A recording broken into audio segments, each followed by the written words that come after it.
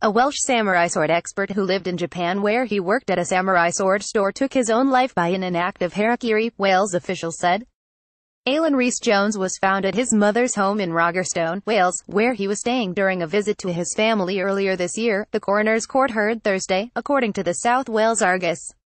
His mother, Margaret, reportedly found him lying on top of his sword with his arms over his head, Metro UK reported.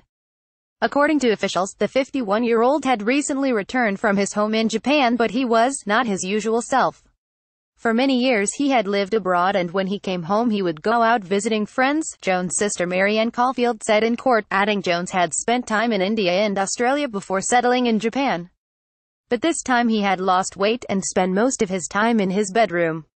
EXPRIEST, wielding samurai sword, kills priestess sister at prominent Tokyo shrine Jones was described as having a master collection of samurai swords and having developed an interest in the samurai tradition, his sister added.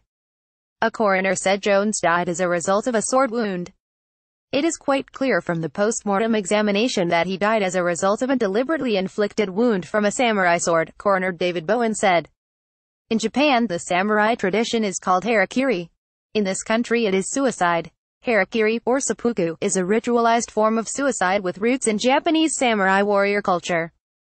During the act, a man would stab himself in the left belly, draw the blade to the right, and then pull upwards. Samurai warriors traditionally performed harakiri to avoid capture by enemies, or as punishment.